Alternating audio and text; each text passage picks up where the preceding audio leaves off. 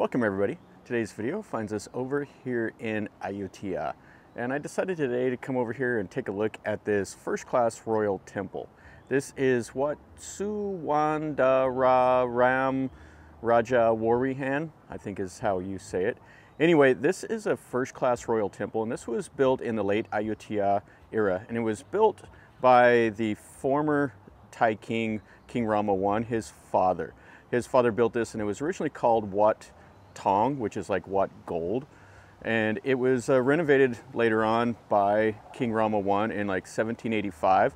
And then it was renovated again under King Rama IV and Ram Rama VII. This is a really, really important temple, especially for the, uh, the current dynasty of Thai kings. Uh, anyway, we're going to take a look at it, and the, what I want to see is three things. We'll take a look at that nice chedi that's back there. We'll look at the mural paintings in the Ubosot and in the Wihan. And they're uh, really, really famous paintings. That's the uh, main draw over here. So uh, let's go take a look and let's see what we see.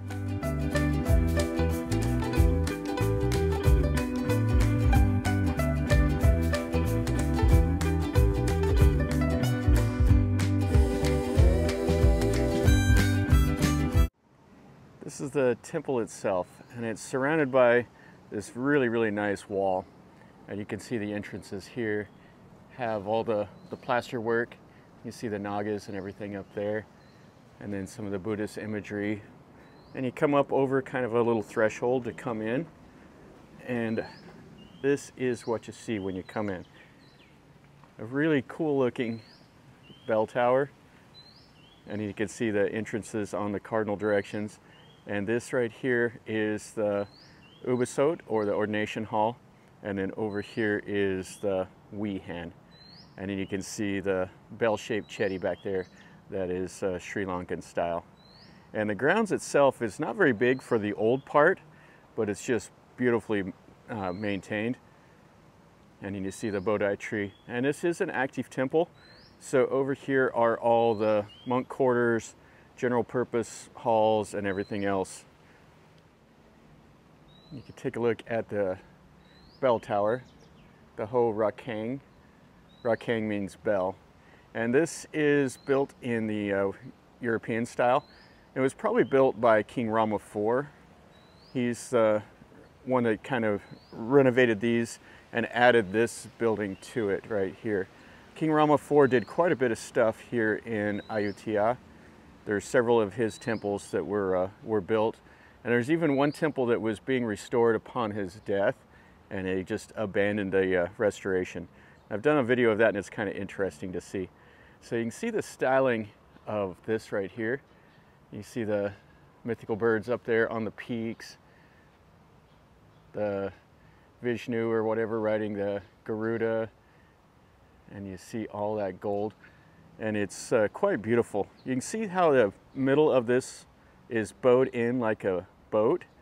They uh, designed these to look like the Chinese junks, the ships, and that is a styling feature that you see in the Ayutthaya era. And this has been renovated, so they've added a lot more above the windows and stuff that would have been here originally. And it is a royal temple, so you see the double Buasima stones right there. Let's go in here and let's look at this. There's gonna be two rows of murals in here. There's gonna be an upper and a lower. And I believe these were uh, painted in 1931 and they're supposedly the first uh, oil paintings on plaster in Thailand. And uh, this will be a nice little treat for us. You can see the doors here and all of this detail work that they do with those little pieces of glass. And I've seen him putting those in and the guy sits there and just files them down by hand and then he fits them into each of the little slots that they're going to go in. Okay, so here we go. So you can see how this looks in here. This is really, really quite nice. Places like this, the tourists don't really go to. This is more for like the locals. There will be people that will pop in, but generally it will be the Thais that will come over here and they'll, uh, they'll pray and make merit and everything.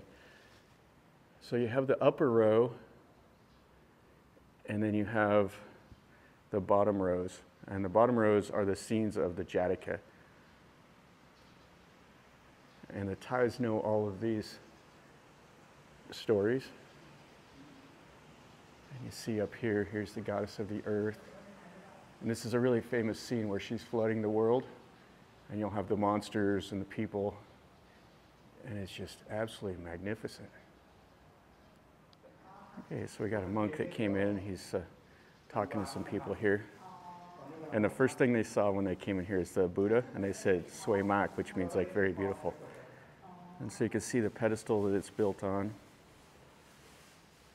and then the, uh, the main Buddha image up there. Yeah, it's really, really a nice image. And you can just see the detail work of all of these paintings. Yeah, so you can see all of these paintings are just a masterpiece. The detail, they have mustaches. Everything is just amazing. And then uh, it goes from the top, and then it has this right here that separates the, the different rows. And then you have the little Buddha figures and stuff. And then the ceiling is all that carved wood, and it's just really, really nice. Okay, so let's go over and let's look at the other scenes, the battle scenes. So those are the ones that I like the most at this temple, but these are really nice also. If you notice on this temple, you see there's three entrances, and the center entrance is supposed to be the royal entrance for the king. And right behind that Wihan is this huge chedi. Now it is the bell-shaped, which is like the Sri Lankan style, and it has that little platform up on the, right there, and you can get up there and walk around. And I guess this is a common style of the chedis from King Rama IV, and it's just right here behind the Wihan. Let's go in here and we'll come over and we'll walk up on that little platform of the, uh, the chedi, which is quite nice. You can see all the, just the little tiny details. They have the figures up there, the naga, the bottom of that roof right there. You see how it's that wood and it's all hand painted. And I've seen a few of these temples that have been renovated and I've made a video of one where they were actually uh, doing the renovation and it was quite cool to see. You can see the craftsmen doing all of this stuff doing all the woodwork, all the tiles. It was uh, a lot of fun to see. And this one here, you can see it also has the three doors. I think I might have misspoke. I think the mural paintings in the Ubosot, that uh, ordination hall, I think they were painted under Rama I and then renovated by uh, King Rama III, and he left them in this style. I think these are the paintings here that were done in 1931, the first oil paintings done on the plaster. And these are a real treat. I think there's 22 different panels, and they're all scenes of King Naresuan the Great. And this is the highlight of it all. This is a really, really famous battle right here between King Naresuan and the Burmese general. And I guess in the, uh, in the story, King Naresuan was losing the fight, and he whispered, his elephant went down on one knee, and he whispered in the elephant's ear some words of encouragement, and the war elephant stood up, and then he ended up fighting stronger and won the battle. And uh, all of this is really, really famous. And I guess King Naresuan was, whenever he died, he was on campaign invading uh, Burma. And he died, and then his younger brother took over, and he retreated from the fighting and came back over here to Ayutthaya. And he became kind of a, like, a, uh, not a war king, his younger brother, became a king that was uh, instrumental in opening up trade from the Ayutthaya kingdom to the rest of the world. He uh, took basically the soldiers and turned them into merchantmen. And he used all the infrastructure that was set up for war to, uh, to do trade. And he kind of made uh, the Ayutthaya kingdom really, really prosperous. This panel right here shows King Naresuan's death in 1604. Yeah, he died of a mysterious disease while trying to invade modern day Myanmar, at the time was uh, Burma, and in his brother King Ekrasat, I think was his younger brother's name, he took over. And here's one of the scenes where King Naresuan was invading Burma, and he tried to defeat the city in Tawarangu. They had a huge city moat, and they dug a canal to try to drain it, but they never were able to. I guess the little canal is still Klong Siam, which means the Siamese Canal. Here's a scene where he, uh, King Naresuan conquered the Burmese, but the Burmese king escaped. Another famous act of King Naresuan, where he conquered the Cambodian king. They attacked Cambodia Praia Luwak, and that's the Cambodian king, they executed him. And then the elephant duel battle. The detail work of that is really so cool. Yeah, this whole hall is really nice. You see it has the same teak wood ceiling, and then the main Buddha in here is fantastic. And then they have the little stage right here for the monks, so they can come over here and they do their chanting and you could come in here and take a look like like you see scenes like this this is a really famous scene where uh, king Naresuan and the burmese prince they had the, uh, the fighting chickens and king Naresuan's chicken won the fight. That's a scene that you see depicted all around thailand. And a lot of these temples you'll go to they'll have the chickens and they'll be out in front because of that. Yeah, the Burmese prince lost face because his chicken was defeated. And what's interesting is King Naresuan was trained to fight by the Burmese. He was taken as a, uh, basically like a hostage after the fall of Ayutthaya, and he ended up learning how to fight from the Burmese. And he was very instrumental in liberating Ayutthaya at the time from the Burmese after the, the White Elephant War in the 1500s. Okay, so that was really fun in there.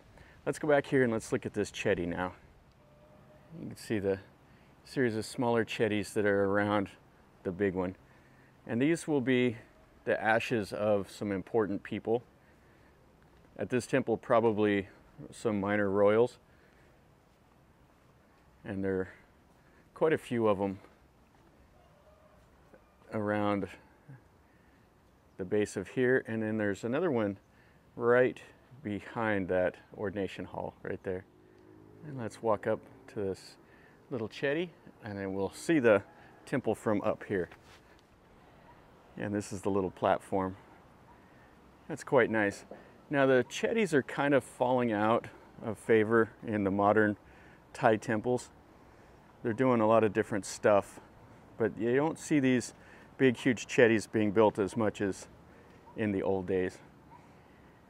It used to be kind of standard to have like uh, the ordination hall, the uh, and one of these chedis.